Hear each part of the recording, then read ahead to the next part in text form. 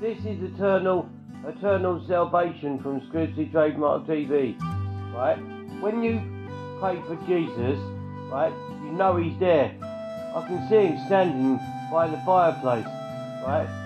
He's there telling me to do the prayer. Right? He's telling me to go out there and do my job. Right? He's giving me abundance. Right? He's telling me to do my job. Right? Not to fall down. Right?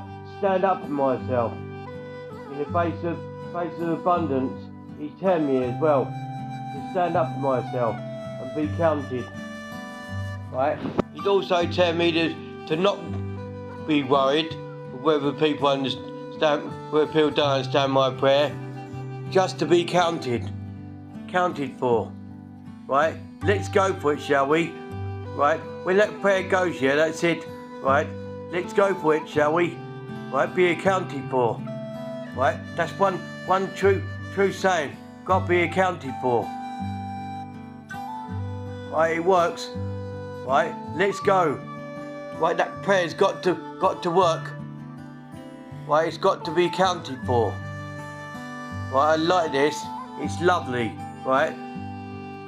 When I write the prayers for St John's, I write I write in a way that's abundant to Jesus, not about myself or about getting any any medals or awards or OBEs from from the from the King, King Charles III. I don't want any of that.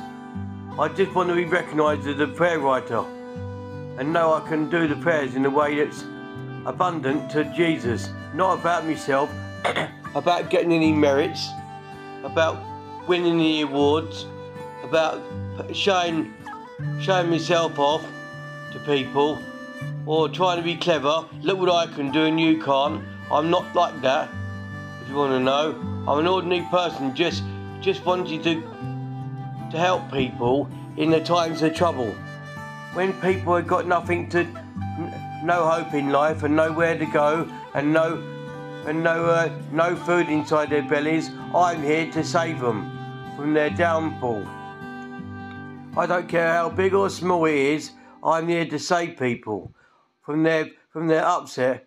I will look after you, I will love you, I will I will protect you lot in Medway the best way I can.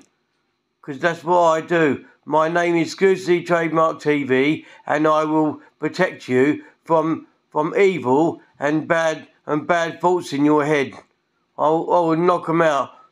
Because I will get rid of them with a prayer because that's what I do. I will love and protect all all those who have got nothing and all those who have got nowhere to go, no food, no shelter, and I will look after you. I will as well. I'll give a roof over your head wherever you possibly need it, or a prayer. In the name of Jesus, amen.